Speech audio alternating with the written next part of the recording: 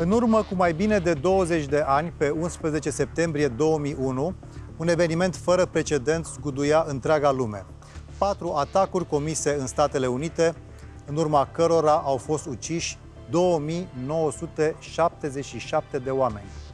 14 ani mai târziu, în Franța, au avut loc atacurile de la Bataclan din 13 noiembrie, ucigând 130 de oameni. Pentru noi toți, teroarea a devenit astfel un fenomen tragic și mult prea familiar. Cu toate acestea, terorismul, un cuvânt care ne bântuie tuturor mințile, nu are încă o definiție prea clară. Și tocmai că suntem confruntați cu șocul terorismului, ar trebui să încercăm să-l înțelegem. Care este obiectivul teroriștilor? Care este legătura dintre teroare și frică? Este terorismul o metodă de a destructura politica?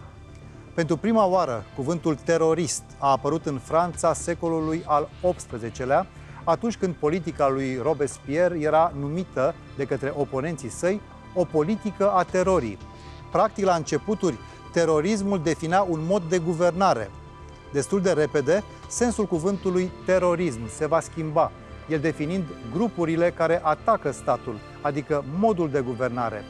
Paradoxal, nu există nici astăzi o definiție internațională juridică a terorismului.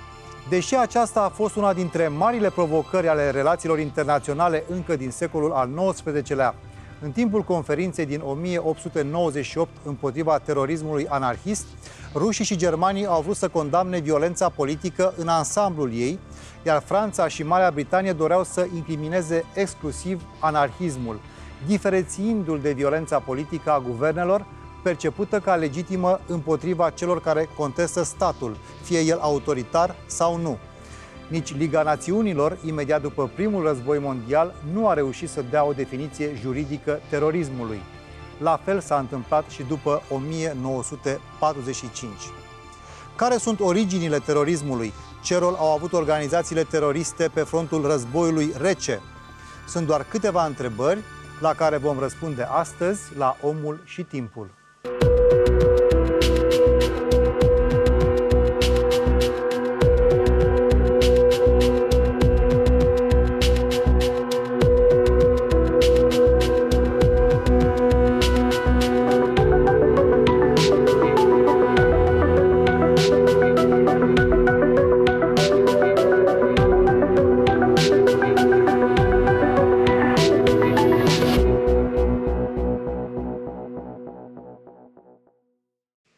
Invitați în ediția de astăzi Omul și Timpul sunt uh, profesorul universitar, istoricul și cercetătorul Gheorghe Onișoru, primul președinte al Colegiului uh, Consiliului Național pentru Studierea Arhivelor Securității între 2000 și 2006, autor al mai multor cărți dedicate istoriei recente a României.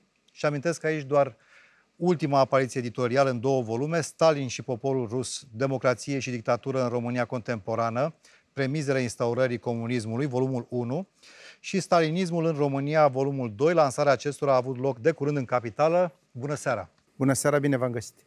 Și domnul Florian Banu, doctor în istorie și cercetător CNSAS. Bună seara! Bună bine seara. ați venit la Mulțumesc pentru invitație. Avem o temă grea, poate cea mai grea temă de când uh, facem această serie de emisiuni de istorie la televiziunea publică.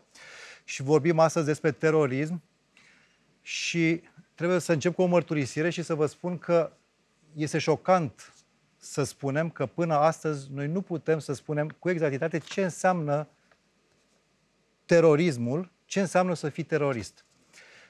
Nu știu dacă să abordăm cronologic această temă, poate ar fi bine să începem cu o definiție. Am scos mai multe folosite între specialiști, între oamenii de știință. O primă definiție a terorismului ar fi violența împotriva civililor, în principiu violența statului împotriva civililor.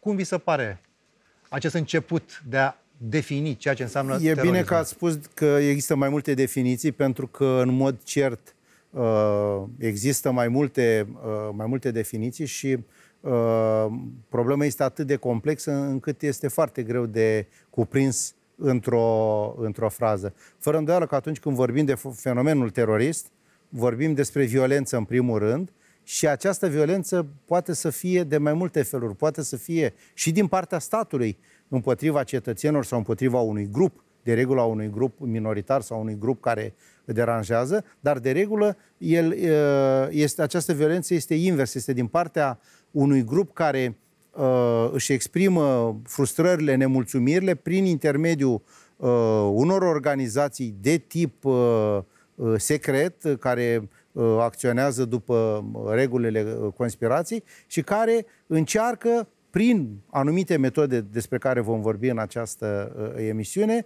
să își impună un anumit program care să fie uh, împotriva anumitor puncte din programul oficial al statului.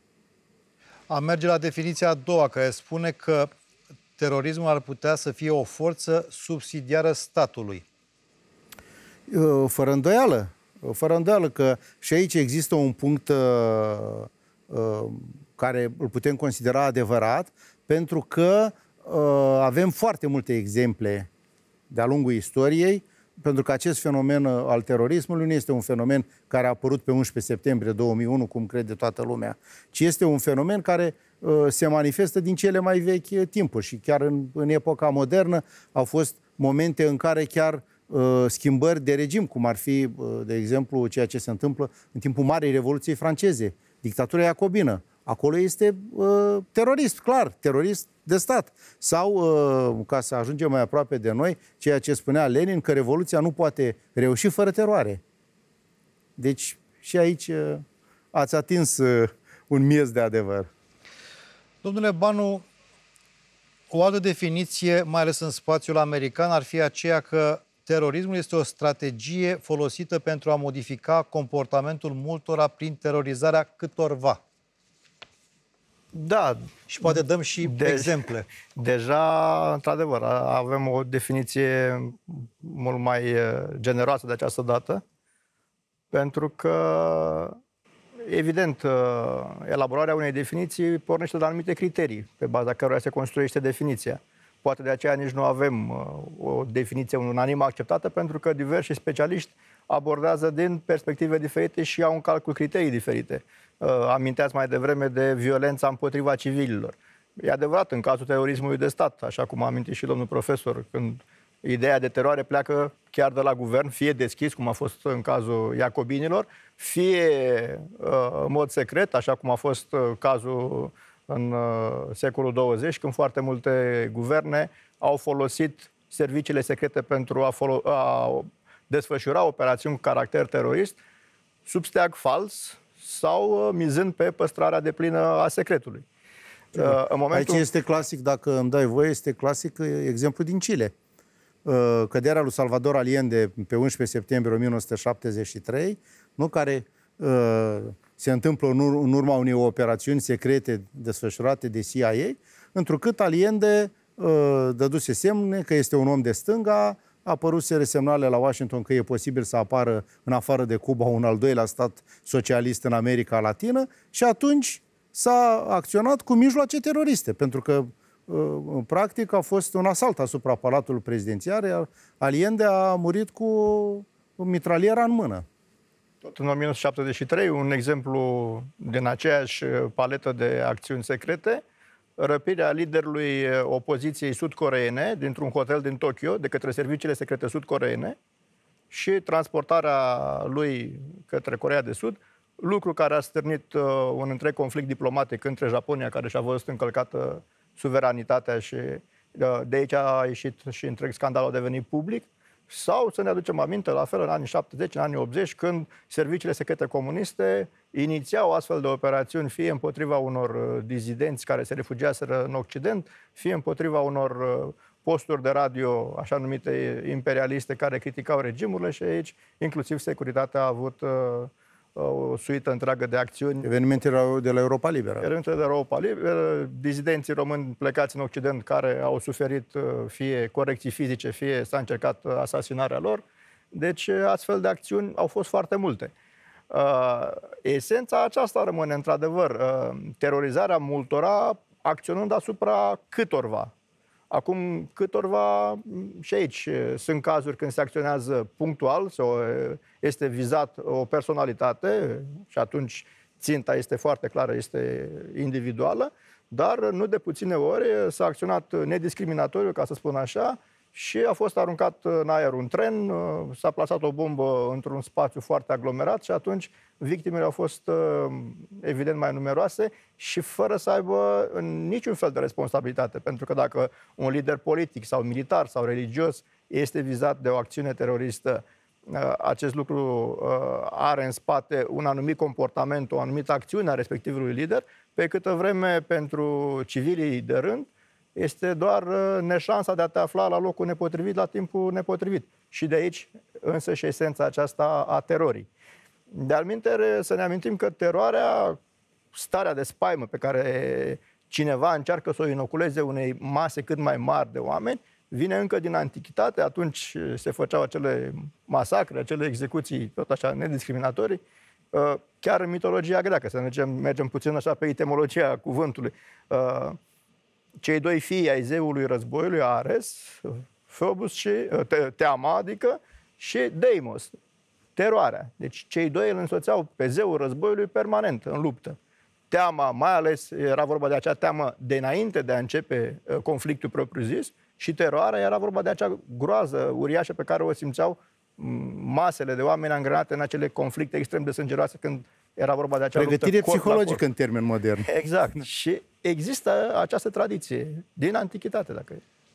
Pentru a înțelege mai bine ce ne se întâmplă în aceste zile, în care vorbim mai mult despre terorismul de, să spunem, de influență islamică a unei zone extremiste din, din, din spațiul islamic, ar fi, cred, potrivit să ne întoarcem imediat după cel de-al doilea război mondial. Cred că sunt mulți dintre telespectatorii noștri care poate că au uitat că Europa a fost măcinată de acțiuni, să spunem, teroriste, poate vom redefini termenul între timp, și că imediat după cel al doilea război mondial au, au fost comise atrocități. Vorbim despre mii de morți în Europa. Sigur că da. Sigur că care da. A fost, care au fost cauzele? Avem și aici mai multe, mai multe etape. Este, să spunem, primul deceniu uh, postbelic, atunci când se reglează anumite lucruri, se așează Europa, uh, harta postbelică a Europei este modificată profund față de cea uh, interbelică, când au loc adevărate acțiuni de epurare pe care le putem considera, de epurare etnică, pe care le putem considera tot uh, ca fiind de esență teroristă, unele din ele îndreptate chiar împotriva germanilor, a etnicilor germani care rămân în afara granițelor Germaniei și Uh, știm astăzi ce s-a întâmplat în Cehoslovacia, de exemplu, unde uh, s-au uh, produs evenimente absolut care astăzi nouă ni se par neverosimile. Deci, practic, s-a răspuns la tehnici ale nazismului cu același fel de arme. La viol s-a răspuns cu viol, la o ucidere cum făceau germanii, prindeau partizanii și îi împușcau în cap fără să-i, fără să-i judece, așa s-a întâmplat și acum. După această etapă, însă avem uh, anii 70, când încep să apară uh, organizații de tip terorist, în adevăratul sens al cuvântului și cred că undeva după 1968 putem vorbi cam peste tot în Europa Occidentală de astfel de organizații, fie că discutăm despre brigăzile roșii din Italia, despre mișcarea bască de eliberare sau ETA din, uh, din Spania și, sigur, armata republicană irlandeză, care este o chestiune care pleacă tot acum după 68-69, după momentul în care guvernul de la Londra decide să desfințeze Parlamentul de la Belfast, din uh, Irlanda de Nord. Și începe și acolo o, o întreagă uh, mișcare uh, care duce la foarte mulți, cei mai mulți morți de altfel, uh, s-au înregistrat în Irlanda Uh, de nord, de toate confesiunile, și irlandezi, și englezi, și protestanți, și catolici, și așa mai departe. Deci atunci începe această uh, perioadă și ea înflorește cam până pe 1980. Dacă îmi permiteți și eu aș vrea să adaug aici că, într-adevăr, uh, anii 60 sunt uh, anii în care uh, terorismul practic cunoaște o adevărată explozie și cauzele sunt multiple. Într-adevăr, după acel deceniu postbelic în care lucrurile au încercat să se așeze, în care oamenii au avut niște speranțe că pe calea reformelor se va produce o schimbare în viața lor, au venit anii 60 în care un număr tot mai mare de tineri a avut acces uh, la învățământ superior, la studii uh, superioare. Uh, informația a început să circule foarte rapid pentru că a avut loc explozia televiziunii și a radioului. Au apărut radiourile portabile și marile rețele de televiziune care colportau anumite modele culturale. Ideile născute în Statele Unite pe fondul războiului din Vietnam s-au difuzat foarte rapid în Occident, în Europa Occidentală mă refer, în uh, Germania, în Marea Britanie, în Franța, în Italia și atunci a avut loc uh, uh, o veritabilă fermentație în rândul tinerilor, mai ales, așa cum am spus, cei cu studii superioare, care au văzut că aspirațiile lor se izbesc de niște modele culturale depășite, învechite, pe care ei încercau să le schimbe. Ori establishmentul firește că încerca să îi corecteze, să-i aducă pe drumul cel bun. Și atunci nu puțin dintre ei s-au îndreptat către aceste mișcări extremiste, uh, foarte multe de uh, stânga, dar și foarte multe de dreapta, de extremă dreaptă. Fasciștii nu s-au resemnat, uh, naziștii nu s-au resemnat că au pierdut războiul și mulți dintre ei au sprijinit în diverse forme, începând de la ideologie până la sprijin financiar și logistic, astfel de grupuri de orientare de extremă dreapta. Și, într-adevăr, în Occident, în Europa Occidentală, are loc atunci o, o adevărată explozie a actelor de terorism. Uh, o statistică arăta că, practic, din totalul acțiunilor teroriste la nivel global, Europa Occidentală pentru uh, deceniul 78 deținea undeva între 36 și 39% din totalul acțiunilor uh, teroriste, ceea ce era foarte mult, având în vedere că și în America de Sud, și în Africa, și în Asia, în Orientul apropiat, nu mai zic, această perioadă coincide cu decolonizarea, cu răsturnarea de guverne, cu luptele de gherilă. Deci uh, era oricum la nivel mondial un ferment terorist și o... o... Și să nu uităm că 68 în Franța produce o adevărată... Franța este în pragul unei, în pragul unei revoluții. Uh, revoltele studențești uh, din 68 vor duce până la urmă la căderea lui Charles de Gaulle. Și același lucru se poate spune și despre Italia. Dacă îmi permiteți, uh, ecou acțiunilor uh, din 1968 care s-a răsfrânt în întreaga Europa, Franța este cel mai bun exemplu, dar a iradiat în întreaga Europa Occidentală, s-a răspândit și în mediile muncitorești. În 1969, Italia este zguduită de o serie întreagă de acțiuni revendicative, pentru că situația economică a Italiei era departe de a fi una fericită, iar așteptările uh, muncitorilor erau foarte mari. Nu întâmplător, Partidul Comunist Italian era cel mai puternic partid comunist din Europa Occidentală și pentru că aceste așteptări erau permanent retezate, nu de puține ori prin forță de către autorități, atunci au apărut aceste grupuscule și organizații teroriste mai mult sau mai puțin uh, importante. Brigăzile roșii sunt cele mai cunoscute, dar uh, erau și celurile comuniste și multe alte astfel de, uh, de acțiuni. Acești ani au fost numiți de altfel anii de plumb ai Italiei, așa au intrat în conștiința. Occidentul nu cunoștea tinerii nu cunoșteau realitatea din Uniunea Sovietică. Pentru noi, cei care eram de partea aceasta a cortinei de fier, și astăzi, parcă sună fals, tineri idealiști care doreau să impună comunismul în țări occidentale, în condițiile în care noi știam ce era la da, noi. noi care Cum am, vă explicați? Noi care am trăit comunismul uh, știm foarte bine ce, ce înseamnă model sovietic. Însă în Occident acest model sovietic apărea doar dacă citeai presa, dacă uh, era influențat de o anumită propagandă. Să nu uităm că în perioada neagră a stalinismului, deci în perioada dintre uh, uh, cele două războaie mondiale, în timpul marilor epurări, când Stalin a uh, dat deoparte uh, oameni din vârful nomenclaturii, sute de generali, mii de oameni, când uh, l-a planificat moartea lui Kirov, exilul și apoi moartea în exil a lui Trotsky și așa mai departe, uh, intelectuali de marcă din Occident se manifestau uh, fățiși în favoarea Uniunii Sovietice, considerând că tânărul stat socialist nu are altă formulă de a exista decât prin aceste mijloace pe care ei le Uh, deci o, asemuiau o cu dictatura iacobină. a terorii statului împotriva exact. propriilor Și aici este exemplu clasic al lui uh, Romain Roland, marele romancier, care uh, era un mare admirator al lui Stalin și a fost mare admirator al lui Stalin până când Stalin l-a invitat la Moscova.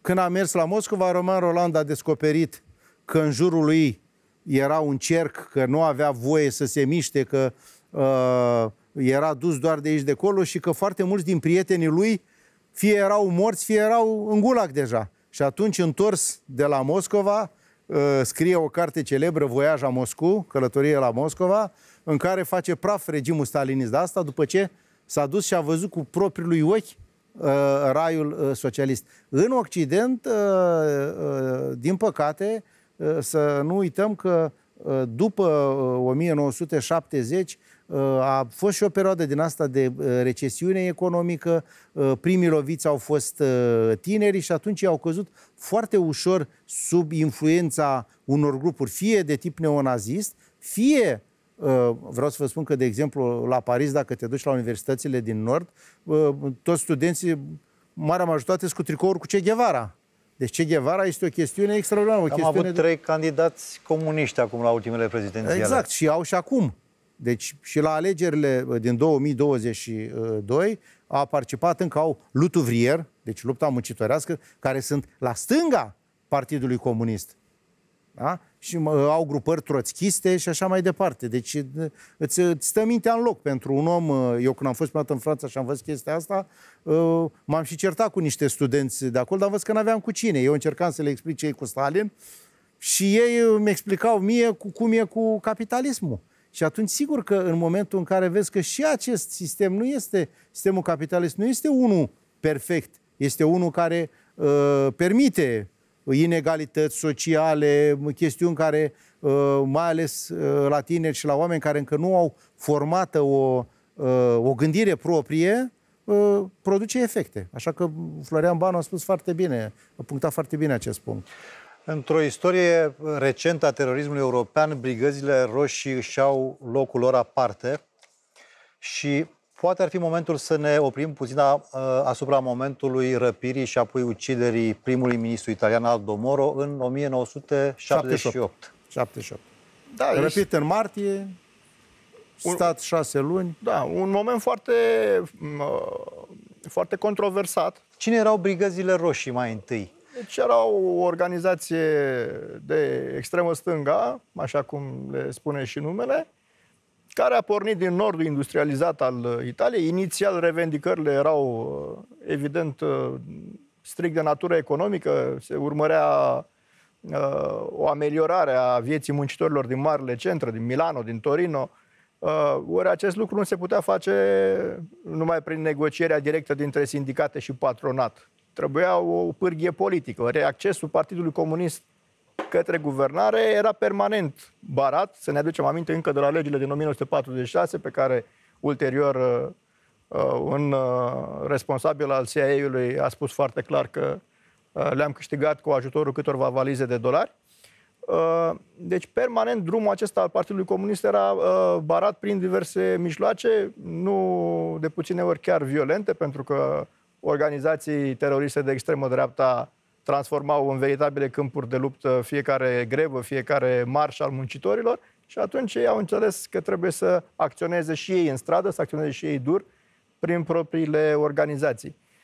În cazul Italiei însă este, uh, are și o specificitate aparte pentru că așa cum a ieșit la iveală după 1984-1985 și ulterior uh, însuși uh, premierul italian uh, Giulio Andreotti uh, a vorbit despre acest lucru, se pare că a existat și o implicare a serviciilor secrete italiene în uh, colaborare cu cele din Statele Unite. În sensul că imediat după război, luându-se în calcul faptul că blocul comunist, în speță Uniunea Sovietică și aliații săi, vor ataca Europa Occidentală, s-a gândit un sistem de rezistență în spatele frontului, Așa numita, această operațiune a primit un nume de cod, operațiunea Gladio, prin care se creau uh, rețele clandestine de viitori luptători, se creau depozite de armament și de muniții, sisteme de comunicație și așa mai departe. O structură a statului de luptă anticomunistă, uh, o clandestină. O structură clandestină sprijinită de către stat, care urma să intre în acțiune doar în momentul în care în cazul unei agresiuni comuniste deschise. Ar fi fost ocupat. Deci și un fel de, partizan, de Statele Unite. Vreți sprijinite de Statele Unite. Uh, din păcate, de la, de la jumătatea anilor 60, se pare că această structură a fost uh, implicată și în alt gen de acțiune, adică nu s-a mai așteptat această ocupare a teritoriului de către inamic, ci a fost uh, angrenată în diverse operațiuni, tocmai în ideea aceasta de a bara ascensiunea uh, stângii în, planul, în prim planul politicii italiene. Dacă îmi permiți, Florian, um, să ne gândim la următoarea chestiune. Suntem în plin război rece. Al doilea război mondial nici nu s-a sfârșit, da? nici nu s-a sfârșit și a început războiul rece, acea stare nedeclarată de conflict dintre cele două superputeri care au ieșit din al doilea război mondial, Uniunea Sovietică și Statele Unite ale Americii. Și fiecare din cele două superputeri au încercat să folosească toate mijloacele împotriva celelalte. Dacă Stalin uh, poate fi considerat marele învingător în cel de-al doilea război mondial, pentru că, practic, prin intermediul statelor satelite, el ajunge în inima Europei, ajunge la Berlin, nu? Uh, de partea cealaltă, uh, Statele Unite ale Americii au fost nevoite pe undeva să facă apel la uh, utilizarea acestor servicii secrete în contextul în care, să nu uităm, Republica Federală a Germaniei era praf după, uh, după 5 ani de război, Franța era și ea uh, la pământ, Marea Britanie a traversat o perioadă de criză economică, Italia uh, de asemenea, Spania și Portugalia erau sub regimurile lui dictatoriale, dictatoriale al lui Franco și Salazar și atunci CIA-ul a trebuit să folosească toate mijloacele. Sunt rapoarte ale uh, NCC-ului, serviciul uh, lor de securitate, în care sunt mai multe uh, modalități de, de a se acționa împotriva comunismului. Era, de exemplu, chestiunea bună. Începem în al treilea război. Ce facem? Între timp și rușii aveau arma nucleară. Și asta a fost respinsă. Și atunci, singura chestiune era aceasta de a se uh, uh, acționa underground prin stimularea oricărei forme de rezistență din uh, statele uh, satelite și folosind orice forță. De exemplu, există suficiente documente astăzi care arată că uh, mult huliții legionari care uh, fugiseră în Germania după 1941, folosiți de Hitler în 44 cu acel guvern fantomă de la Vena și așa mai departe, au fost contactați apoi de către CIA și trimiși înapoi în România pentru a culege informații din România împotriva uh, comuniștilor. Deci nu a mai fost nicio chestiune de uh, uh, ideologie aici, ci era o chestiune de real politic, de pragmatism. De, de pragmatism. Altfel, uh, și atunci, un sigur director că... îi spune foarte clar, umoristic așa, dacă vreți, dacă vrei ca trenul să meargă, trebuie să iei câțiva naziști în locomotivă. Și să ne aducem aminte de organizația Gelen, deci da. informațiile externe ale Germaniei au fost puse pe picioare de celebru Gelen, cel care răspunsese de uh, informații de pe frontul de est, care avea rețele în această zonă și care era considerată persoana optimă pentru a reface uh, controlul informativ pe spațiu controlat de uh, Uniunea Sovietică. Deci aici undeva uh, s-a acționat. În mod justificat din punctul lor de vedere, pragmatic. Revenind la Aldomoro, uh, acest om politic avea o altă viziune decât cei mai mulți politicieni din din peninsula italică de la vremea respectivă și considera că ieșirea Italiei din marasmul economic, uh, social, uh, economic, uh, politic în care se afla, din acea instabilitate, se succedau guvernele, la două, trei luni se schimba guvernul. Pentru că erau toate de alianță. Și Era, nu, nu el, Aldomor, este șeful creștin-democraților, care, mă rog să spunem, sunt mai la dreapta. Dar ei nu puteau niciodată să formeze guvernul singur și atunci apelau la socialiști și la tot felul de alte grupări mai, uh, mai mici partidul care era cel mai puternic și câștiga de multe ori ori locul întâi, ori locul doi, erau comuniștii. O alianță cu comuniștii ar fi uh, produs, dacă vreți, uh, o, un guvern de Uniune Națională și care poate ar fi putut să stabilizeze Italia. Dar aducerea comuniștilor la putere într-un stat din Europa Occidentală în 1970-1980 era o chestiune absolut inacceptabilă pentru uh, marile puteri Toate rețelele de știri au vorbit despre un atentat comis de brigăzile roșii mai întâi uh, Brigăzile Roșii au dat un comunicat în care au anunțat că Aldo Moro a fost condamnat la moarte de un tribunal al poporului. Și această chestiune trebuie interpretată din punctul de vedere al propagandei specifice războiului uh, uh, rece. Pentru că uh, se încerca pe undeva, uh, dacă doriți, atragerea uh, sentimentelor opiniei publice spre o anumită direcție. Blamarea cumva, o, o legătură între brigăzile roșii, Partidul, uh, Partidul Comunist Italian. Deci Partidul Comunist Italian s-a disociat totdeauna de uh, extremismul brigăzilor, de extremismul roșii. brigăzilor roșii. Iar faptul că Aldo Moro stă șase luni în Roma, deci în Roma, pe când uh, era căutat în toată Italia și ascultam, copilii eram, ascultam la Vocea Americii seară de seară ce s-a mai întâmplat cu Aldo Moro și deodată pe 9 septembrie îl găsești într-o mașină în, în Roma. La 100 de metri de da. sediu. Se, se pare... Păi ca din, să fie găsit. Ca să fie găsit mai ușor. Se pare din raportul Comisiei Parlamentare publicat în anul 2000 că serviciile militare de informații ale Italiei au știut permanent unde se afla, de fapt, deținut Aldo Moro, dar din rațiuni politice nu s-a acționat. A fost un întreg scandal ulterior, s-a stins cu greu, ancheta s-a derulat cu foarte multă dificultate, mulți dintre martori aveau prost obicei de a dispare de pe scenă, de a se sinucide cu prinși de remușcări. Deci a fost un caz foarte, foarte complicat. Și până la urmă și brigăzile roșii cam în 2 ani au... își încetează, încet, încet trec pe intră pe o pantă. Și ca să care... încercăm să punem un punct și o virgulă uh, în emisiunea acest moment, cum definim terorismul dacă ne referim doar la această mișcare de extremă stângă? Până la urmă, și statul italian a fost implicat prin serviciile secrete în uh, acest asasinat al lui Aldo Moro. Nu se știe cu siguranță dacă au fost brigăzile roșii sau nu.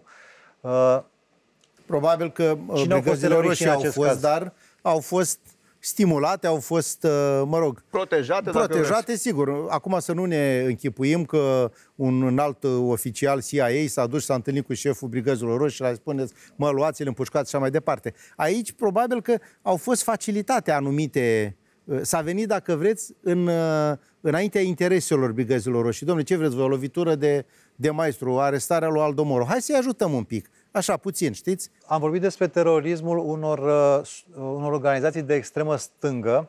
Să vorbim și despre presupusul terorism, să vedem dacă termenul este propriu sau nu, pentru niște mișcări uh, naționaliste. Mă refer acum la Irlanda și mă refer la Spania. Spania. Sunt cele mai puternice, cele două. Uh, aici este, într-adevăr,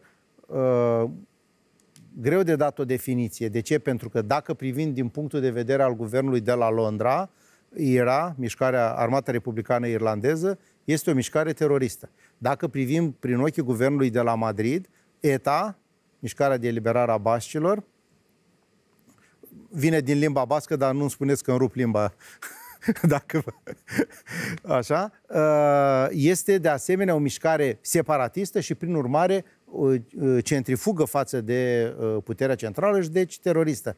Dacă privim prin obiectivele uh, celor două, IRA și ETA, ele ce doreau până la urmă? Doreau separarea țării bascilor și un grad mai mare de autonomie până la independență pentru Irlanda de Nord. Deci ok din punctul ăsta de vedere. Problema intervine în momentul în care ajungem la mijloace. Da? Și la spirala exact. crimelor și asasinatelor. Exact. Pentru că, uh, vă spuneam, uh, în cazul armatei republicane uh, irlandeze, statisticile vorbesc de peste 3.000 de morți. Într-o perioadă, într-adevăr, care pleacă din, din 72, atunci este primul, primul val de atentate mai puternice, dar nici până în ziua de astăzi în Irlanda de Nord lucrurile nu sunt uh, uh, extrem de clare. Deci, fără îndoială că sunt organizații care folosesc mijloace teroriste.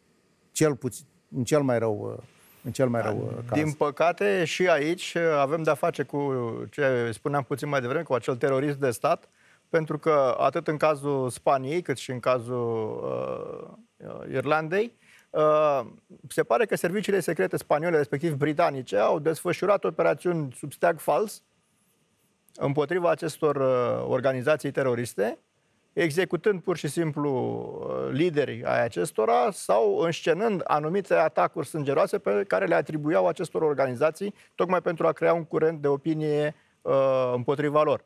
Ori acest lucru nu a făcut decât să escaladeze spirala aceasta a violenței, nu să ne aducem aminte de acea Bloody Sunday, uh, Duminica Sângeroasă, nu? care a creat atâta, atâta teroare la vremea respectivă. Deci nici statul sau statele nu au găsit întotdeauna formula cea mai potrivită de, uh, de a combate terorismul, pentru că de cele mai multe ori s-au încercat să se combată efectele și nu cauzele. Pentru că, dincolo de aspirațiile naționale, au fost întotdeauna și probleme de natură economică, probleme de natură religioasă, confesională, cum e cazul de exemplu, uh, Bașcii. Bașcii au început să-și exprime nemulțumirea în momentul în care uh, Franco a început să acționeze pentru o egalizare a dezvoltării provinciilor spaniole și provincia bască, bine dezvoltată din punct de vedere economic, a văzut că o parte din uh, plus produsul ei? Plus produsul ei este distribuit unor regiuni mai sărace din sud pentru ca și acestea să fie industrializate și ele să fie dezvoltate, în vreme ce investițiile din regiunea bască stagnau. Și atunci au început să se manifeste nemulțumiri. Uh, pe de altă parte, în plan politic, nu erau lăsați să se exprime. Uh, Partidul Basc uh, interzis în Spania se refugiase la Paris și de acolo acționa, încercau tot așa cu pârghii politice să Ei erau și sunt republicani. Plus deci, că practic... Bace sunt și foarte naționaliști. Deci sunt, da. avem în Europa și în lume în general un număr de popoare care se remarcă prin uh, un ultranaționalist, dacă vreți. Și ca să dau un, uh, un exemplu Uh, mai popular să spun, gândiți-vă că, de exemplu, uh, este uh, Atletic Bilbao, care e cea mai bună echipă de fotbal a lor și care a câștigat și cupa, o cupă europeană acum câțiva ani, nu acceptă în, în lotul ei decât jucători basci. Deci nu ai ce căuta acolo. Deci până aici, până aici se merge. Atunci, sigur că uh, și guvernul Uh, uh, spaniol care, să nu uităm, are deja o problemă mare pentru că Spania vine după un război civil 36-39, care nu l-a propulsat numai pe Franco la putere, dar care a produs un clivaj între în cele două societate. regiuni, între Catalunia, unde Barcelona, care e zona mai dezvoltată, și Madridul, unde e centru administrativ. Cum, cum a reușit Europa până la urmă să stingă toate aceste focuri? Ce anume a contribuit la acest lucru? Chiar dacă nu a durat foarte mult, pentru că iată că imediat ne-am confruntat cu migrație. De stins nu s-au stins. Uh, a avut loc un declin din cauza mai multor factori, datorită mai multor factori. Uh, în primul rând, uh, începând cu 1982, acțiunile serviciilor secrete europene au început să fie conjugate. S-a creat un centru european de combatere a terorismului. Au început să fie exercitate controle foarte severe la embarcarea în aeronave, la trecerea frontierelor, deci s-au luat o serie de măsuri tehnico-organizatorice. Pe de altă parte, în 1989-91, Uh, alternativa comunistă dispare. Pentru foarte mulți a fost un duș rece. Căderea Uniunii Sovietice. Căderea Uniunii Sovietice și a blocului comunist. Și mai deci este o chestiune. dispărea, nu? Mai este, Florian, o chestiune da. foarte importantă și anume faptul că Europa trece peste perioada de recesiune și este o perioadă de, de boom economic, de, de, de, boom economic de, uh, în care omul înțelege ceva. Vest europeanul uh, cu o pensie se plimba peste tot dacă te duceai în Europa, autocare, vaporașe, peste tot. În schimb, apare alt gen de terorism. Dacă cel ideologic, da. de exemplu cei de extremă stânga, în mod clar au suferit foarte mult un recul după dispariția blocului comunist. Uh, apare alt gen de terorism. Uh, terorism. De exemplu, acest uh, terorism legat de uh, aspectele ținând de ecologie. Există un front pentru eliberarea animalelor, care a creat multe probleme în Marea Britanie, chiar și peste ocean, în Canada și în Statele Unite, Uh, în Grecia au apărut tot felul de organizații teroriste, unele dintre ele chiar uh, amuzante, așa, ca titulatură, dar din păcate care au acționat cu mijloace violente. Uh, există așa numitele celule, celule pentru combaterea autorității erotice, care au aruncat în aer depozitele și sediile firmei Pfizer, care producea Viagra. Deci cu totul și cu totul alte, există tot în Grecia o, o mișcare care a acționat punctual în 2004 când s-a organizat Olimpiada, mișcarea împotriva flăcării olimpice. Deci oamenii își găsesc tot felul de, de motive pentru care să lupte, unele dintre ele, așa cum am zis, puțin, puțin credibile sau cu impact punctual, dar oamenii trec la această acțiune violentă. Și aici apare iarăși întrebarea asta, totuși, ce-i mână în luptă pe, pe teroriști? Ce și cine finanțează lor? aceste mișcări? Și aici e foarte interesant. Am ce, și, ce interesați? Și o lucrare. Uitați, Asta răspunsul cel mai scurt. Suportul financiar al terorismului inter- internațional. Uh, întotdeauna astfel de acțiuni care uh, presupun uh, mijloace materiale importante, presupune finanțarea unor oameni care trebuie să trăiască din ceva, să se plimbe dintr-un loc în altul, costă. Absolut. Și atunci, costă foarte mult. Costă foarte costă mult. foarte mult, că trebuie asigurate identități false, acte, documente, trebuie să-i ștergi urmele, mai ales în ziua de astăzi, în care uh, un, cu un telefon și cu un card bancar uh, ești practic uh, în orice clipă monitorizat, vă dați seama că o astfel de chestiune costă, costă foarte mult. Dar sunt forțe interesate uh, care uh, și astea provin din toate sferele și din, uh, în primul rând, care sunt implicate în acțiuni economice, care pescuiesc mai ușor în ape tulburi. Ca să... Fie unele servicii secrete interesate le stipendiază. Discutam odinioară despre cazul lui Carlos, care primea armament, primea pașapoarte de la serviciile secrete maghiare, românești, cehoslovace, Uh, deci sunt astfel de servicii interesate, cele din Orientul Mijlociu și din alte țări, nu, nu intrăm în detalii.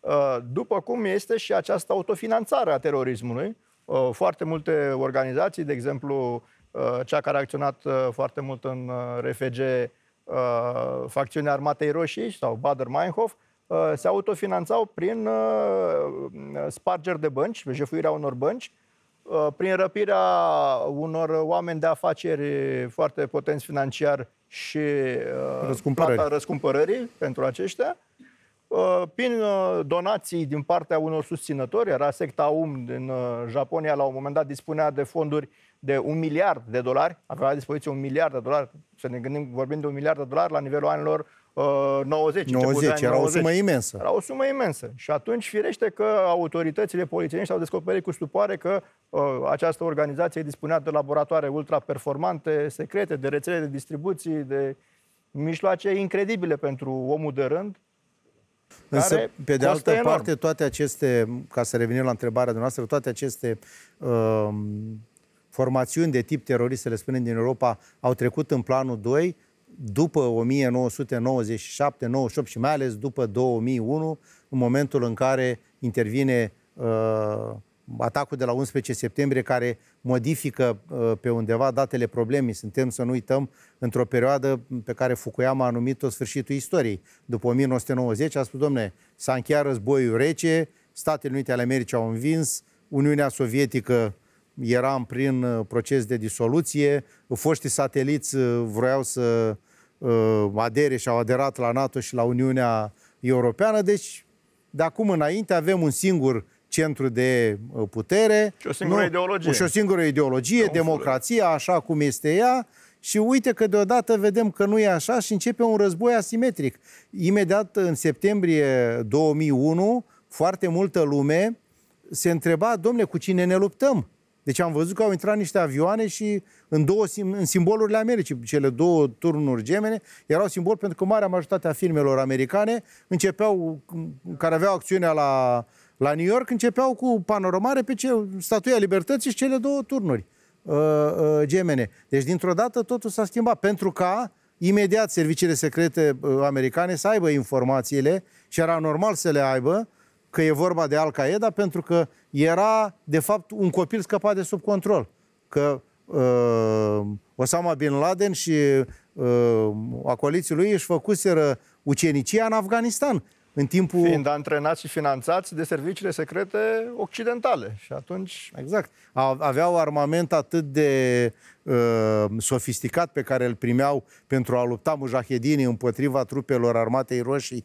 Deci vorbim de perioada după 1985, că invadarea Afganistanului e la Crăciunul din 1979 uh, și până la venirea lui Gorbaciov, Gorbaciov uh, uh, începe să retragă trupele de acolo. Dar în, 70, în 79, foarte mulți mujahedini au venit să lupte în condițiile pe care le vedem și astăzi din, uh, din Afganistan și ei au fost atunci ajutați cu armament, cu tehnică, cu tot ce trebuie americană. Sunt cunoscute cazurile în care se înregistrau foarte multe accidente pentru că uh, mulți mureau pentru că nu știau să folosească uh, un armament extrem de, de Și aici, de aici e din nou aceeași poveste despre care vorbeam. Uh, teroristul unuia este eroul celuilalt.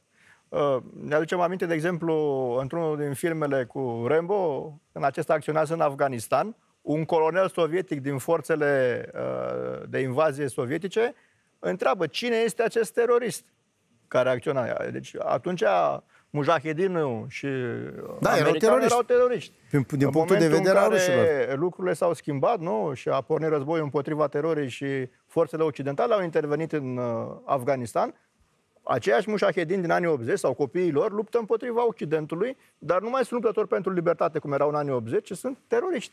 Mai am pregătit o definiție. Eticheta de terorist este un efort conștient al celor aflați la guvernare, al majorității populației sau al organizațiilor influente care vor să deturneze dezbaterile, să găsească țapi ispășitori și să-și diabolizeze adversarii. Este uh, o definiție care, la fel ca și celelalte pe care le-am discutat, are un sâmbure de adevăr, pentru că uh, vedem zilnic în jurul nostru felul în care un anumit tip de informație, dacă vreți, tinde să manipuleze marea majoritate a uh, populației prin acel efect al picăturii chinezești, în care informația este diseminată uh, în diferite medii, în diferite feluri și până la urmă se ajunge să, uh, ca o, o știre pe care un grup important dorește să o acrediteze ca fiind falsă, deși ea nu există, ca fiind adevărată, deși ea nu există, să treacă în, în,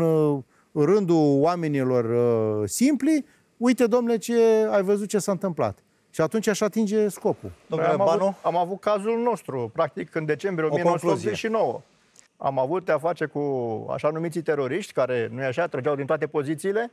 Uh, au acționat, au terorizat o țară întreagă, oamenii au uh, trăit uh, clipe groaznice, ne amintim cu toții de ele, după care am constatat că acei teroriști au dispărut ca prin minune, nu i-a mai găsit nimeni, n-au mai fost identificați și atunci e limpede că cineva, o forță, nu, a acționat folosind aceste mijloace deturnate pentru a crea teroare în și masă a manipulat. și a-și obține obiectivele politice. De aceea, dacă vreți așa ca o definiție de lucru, cam ăsta ar fi uh, terorismul uh, un act care uh, urmărește ca terorizând puțin să înspăimânți mulți pentru a-ți atinge un obiectiv de regulă cu caracter politic.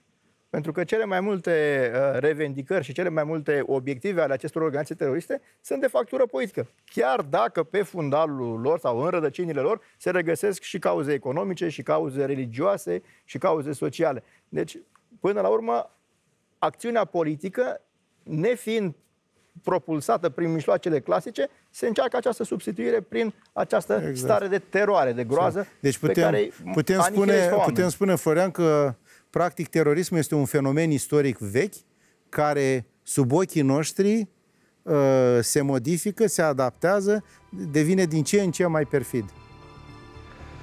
Domnule profesor Unișoru, domnule Banu, vă mulțumesc pentru participarea în ediția de astăzi Omul și Timpul.